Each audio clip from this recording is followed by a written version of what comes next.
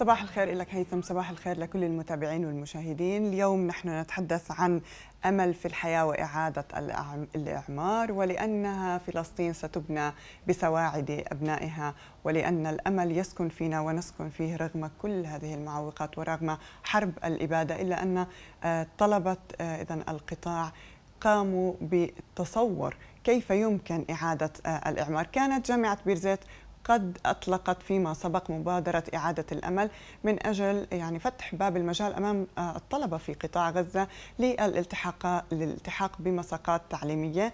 وهذا المعرض يأتي نتاج هذه المبادرة ونتاج مشاركة طلبة آه، غزة في مساقات آه، إذا كلية آه، أو كلية الهندسة في جامعة بيرزيت للحديث أكثر حول هذا الموضوع وتفاصيل معنا في الاستوديو الدكتور أحمد السعدة وهو عميد كلية الهندسة والتكنولوجيا. أهلا وسهلا بحضرتك معنا. أهلا بك أهلا بك. يعني أولا نثني على هذه المبادرة ونشكر أيضا الطاقم الأكاديمي والطاقم التدريسي في جامعة بيرزيت لهذه المبادرة التي تصب في مصلحة الطلبة في قطاع غزة.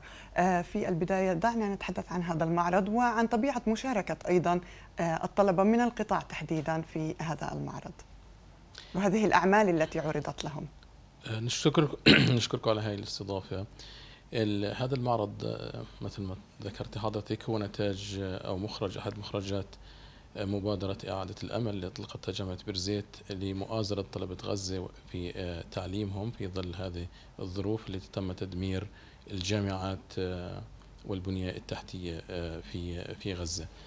وكان بالمعرض حقيقة هو بخص فقط دائرة الهندسة المعمارية والتخطيط في جامعة بيرزيت والمساقات عرض أعمال الطلبة في مخرجات هاي المساقات. في هذه المبادرة هو شارك ما يقارب 120 آه، طالب من وطالبة من آه، قطاع غزة في ثلاث مساقات مساق تصميم خمسة وتصميم آه، مساق تصميم ستة وبالإضافة إلى مشاريع التخرج. وكان المعرض حقيقة يعني تركز على أربعة محاور. المحور الأول هو يوميات الطلبة وتوثيق نزوحهم مع رسومات معمارية أيضا توثق هذا هذا الشيء. والجزء الثاني أو المحور الثاني من المعرض هو تصورهم و تصاميمهم المتصورة عن إعادة الإعمار لغزة في هذه المساقات المطروحة. والجزء الثالث من المعرض كان بيتعلق بتوثيق المباني المعمارية و وأيضا في اللي هي virtual tours أو يعني لربما هنا خلينا نركز على موضوع المباني الأثرية أو المباني القديمة. كان أيضا هناك تصور آه، لكيفية إعادة آه، إعمارها. وهل فعليا يمكن يعني نحن هنا لا نتحدث عن ترميم. عاده عندما نتحدث عن المباني القديمة نتحدث عن ترميم. ولكن هنا إعادة إعمار لأنها في بعض الأحيان دمرت بشكل كامل.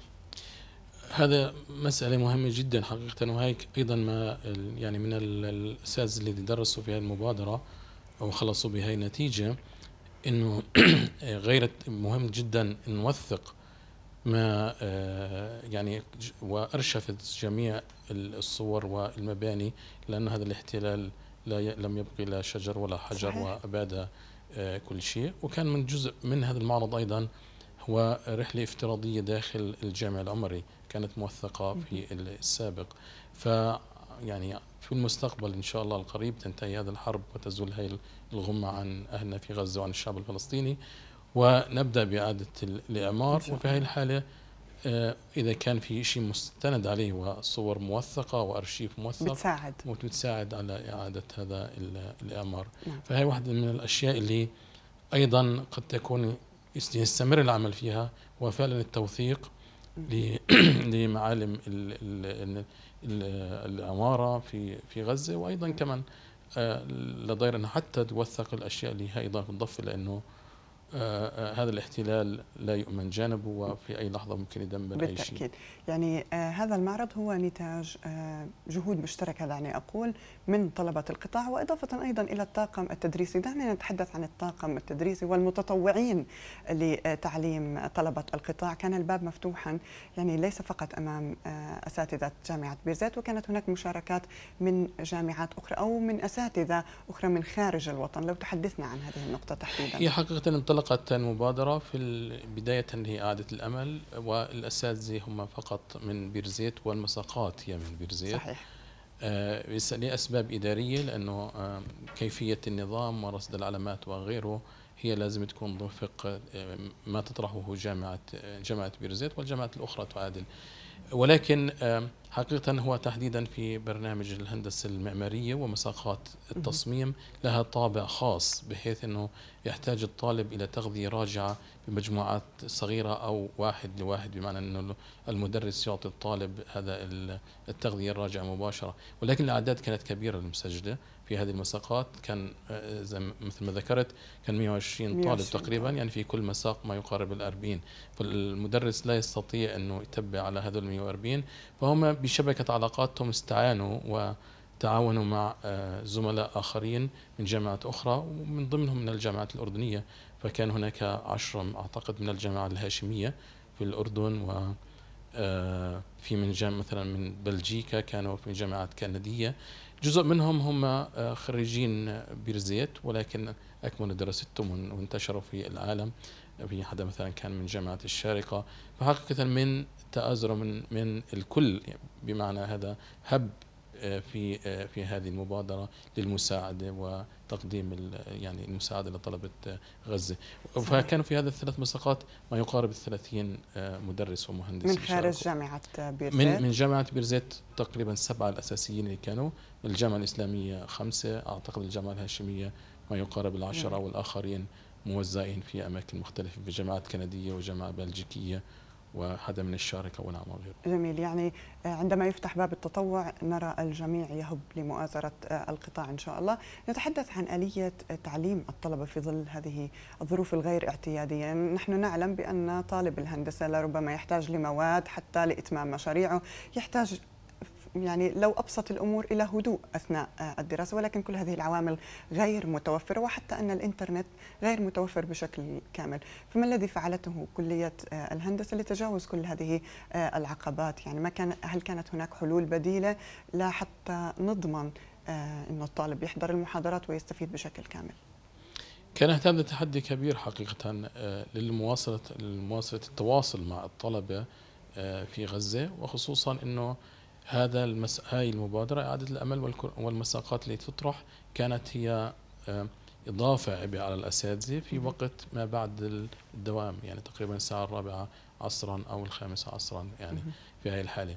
ولكن وقت المحاضرة ممكن يكون الظروف في غزة لا تسمح للطلبة بالالتحاق بالمحاضرة آه، فكان من الأشياء أنه ضرورة تسجيل هاي المحاضرات للطلبة اللي لسبب انقطاع الإنترنت أو لسبب ربما النزوح في هذه اللحظة آه، إنهم يرجعوا لهي المحاضرات. بالإضافة آه، لعمل مجموعات آه، من خلال الواتساب أو تواصل أخرى للتواصل مع الطلبة حين تسمح ظروفهم بذلك.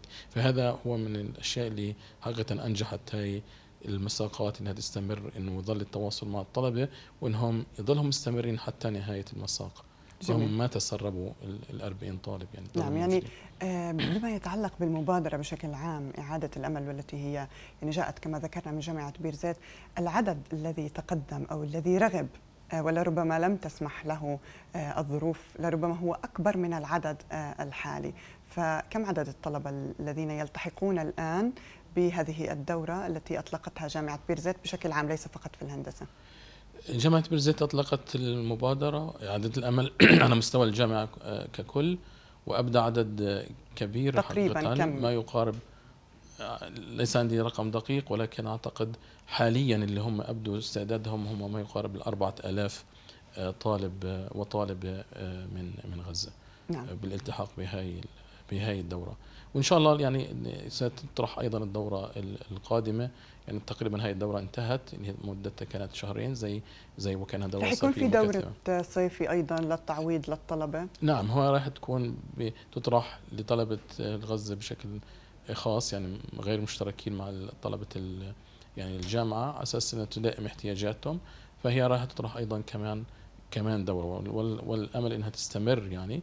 مرة أخرى هي ليست بديل لما هو. في غزة ولكن للأسف هي عملية إسناد. هي عملية ورفع إسناد أيضا من معنويات الطلبة حتى لا يشعروا بأنهم مغيبين بشكل كامل عن العملية التعليمية. وهذا ما يرنو له الاحتلال هو إحباط عزيمة آه، الغزي وأخيرا لربما آه، نأتي على ذكر إحدى الطالبات التي كانت في مساقات الهندسة في آه، البداية واستشهدت يعني هل لديكم معلومات عن الطلبة الذين آه، يعني يشاركون معكم في هذه الدورة وهل لربما تفقدون أيضا منهم؟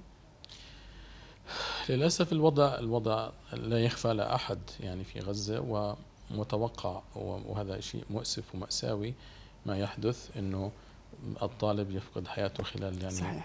آه، خلال خلال انتظامه في هذا المساق حقيقة في طلاب يعني بتغيبوا وب و آه، كيف نقول إنه يعني ببطل يظهروا في الكورسات صحيح. ولكن ما بنعرف إما لعب النزوح وإما نعم. يكون قد غيبهم الاستشهاد نعم آه يعني مع إن للأسف ما في إحصائية محددة ان نقدر نعم. نضبط هذا الموضوع. أشكرك جزيل الشكر آه، دكتور أحمد السعد عميد كلية الهندسة والتكنولوجيا ونشد على أيديكم في هذه المبادرة. آه، ونتمنى أن تتلوها أيضا مبادرات أخرى من كافة الجامعات الفلسطينية لمؤازرة طلبتنا في القطاع. شكرا لك. شكرا لكم. شكرا.